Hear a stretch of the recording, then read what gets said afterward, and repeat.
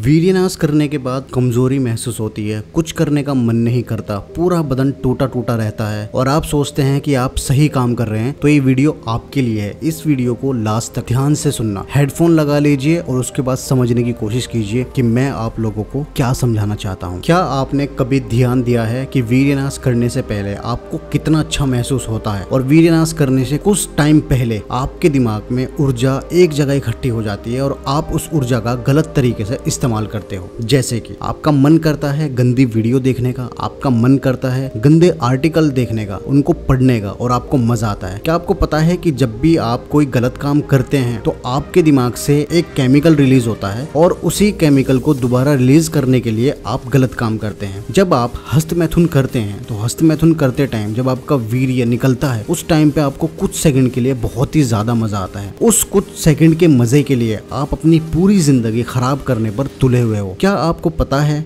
कि हमारे वीर्य में कितने शुक्राणु होते हैं? जब आप हस्तमैथुन करते हैं, हस्तमैथुन करने के बाद जो आपका सीमेन निकलता है, वो तीन एमएल निकलता है और एक एम सीमेन में तकरीबन ट्वेंटी मिलियन शुक्राणु होते हैं। तो आप समझ सकते हैं कि पूरे वीर्य में कितने शुक्राणु आप वेस्ट कर रहे हैं और उन टू हंड्रेड शुक्राणु में से अगर एक भी शुक्राणु एग के अंदर चला जाता है तो उससे आप एक नया जीवन इस दुनिया में ला सकते तो आप समझ सकते हैं कि आप किस तरह की ऊर्जा को बर्बाद कर रहे हैं। एक ऐसी ऊर्जा को बर्बाद कर रहे हैं जिस ऊर्जा से हम इस दुनिया में एक नया जीवन ला सकते हैं। लेकिन इस दुनिया में सबसे बड़ी कमी यह है कि अगर आप किसी को समझाने बैठोगे, सबसे पहले उसके दिमाग में यही आएगा कि ये कितना बड़ा ज्ञानी है, दूसरों को ज्ञान दे रहा है। लेकिन उनको ये नहीं पता है कि जो ज्ञान हम आपको दे रहे हैं या जो हम समझाने की कोशिश कर रहे हैं, वो अपने एक्सपीरियंस के बेस पर ही आप लोगों को समझाते हैं, जिससे कि जो आने वाली जो जनरेशन है, वो अपने भविष्य को सही दिशा में ले जा सके और इस कंट्री के लिए कुछ अच्छा कर सके, अपने माँ बाप के लिए कुछ अच्छा कर सके। अगर आप इन गंदी लतों में पड़ जाएँगे तो आपकी ज़िंदगी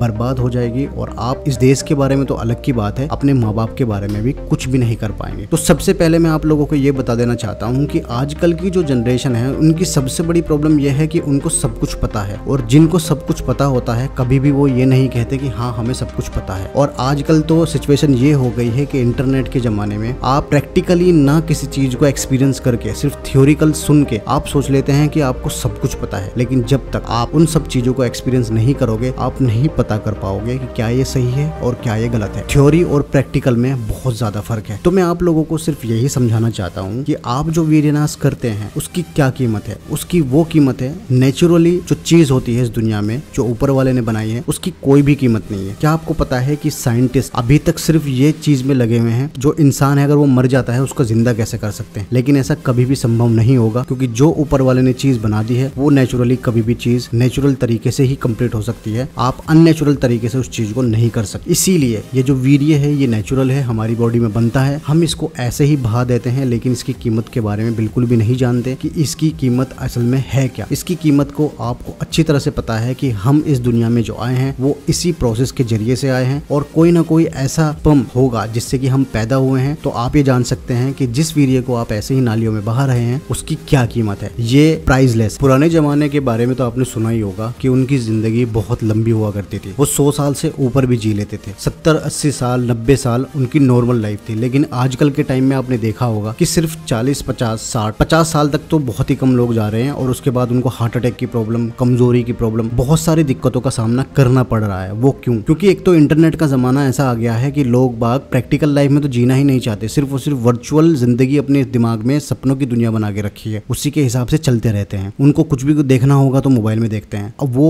बाहर की ज़िंदगी तो जैसे लोग बाग भूल ही गए हैं। और एडल्ट वीडियोस देखना, इन सब चीज़ों को देख करके युवाओं का जो दिमाग है, पूरी तरह से बर्बाद हो चुका है। तो दोस्तों, मैं आप लोगों से सिर्फ़ इतना ही कहना चाहूँगा कि हो सके तो अपनी लाइफ को चेंज करने की कोशिश कीजिए, इस दलदल से बाहर निकलने की कोशिश कीजिए, समझने की कोशिश कीजिए, और देखिए कि आपके सामने अभी पूरी ज़िंदगी पड़ी है। अभी इन चीज़ों के चक्कर में बिल्कुल भी ना आए वीरनाश ना करें और अपनी ऊर्जा को बचा के रखें किसी अच्छे काम के लिए। तो दोस्तों आई होप आपको ये वीडियो अच्छी लगी होगी। वीडियो अगर अच्छी लगी हो तो वीडियो को लाइक और चैनल को सब्सक्राइब ज़रूर कर देना। मिलते हैं एक नई वीडियो के साथ में इसी चैनल पर। बहुत ही जल्द जब तक के लिए thank you so much take care and bye